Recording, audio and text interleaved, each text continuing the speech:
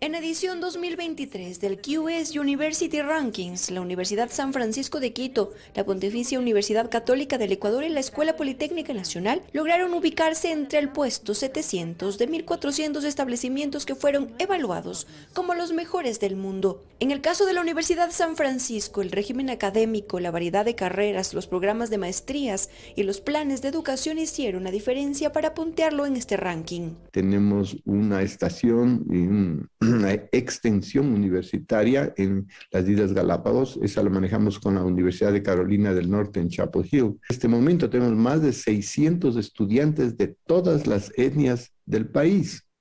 Ninguna universidad puede decir eso. Y, reciben asistencia financiera.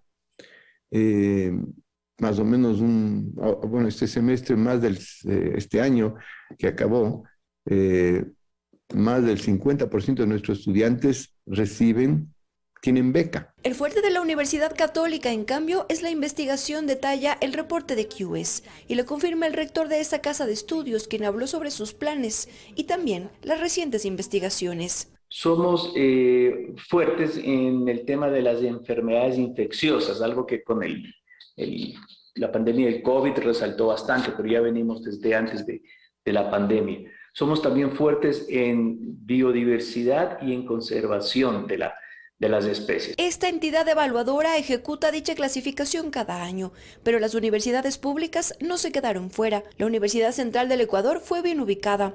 Recibieron importantes calificaciones también la ESPOL, la UDLA y la ESPE. Esto representa nuevos retos para la academia. El médico eh, no solamente estudia medicina, biología y química, aquellas cosas relacionadas, sino también de artes, de humanidades, eh, de ciencias sociales. Nos viene el ofrecer em, carreras innovadoras. Este año vamos a sacar unos cinco prototipos nuevos, el año próximo unos tres. Las diez universidades ecuatorianas más importantes en este ranking compitieron con instituciones del Reino Unido, Estados Unidos, Suiza, Canadá e incluso Hong Kong, entre otros.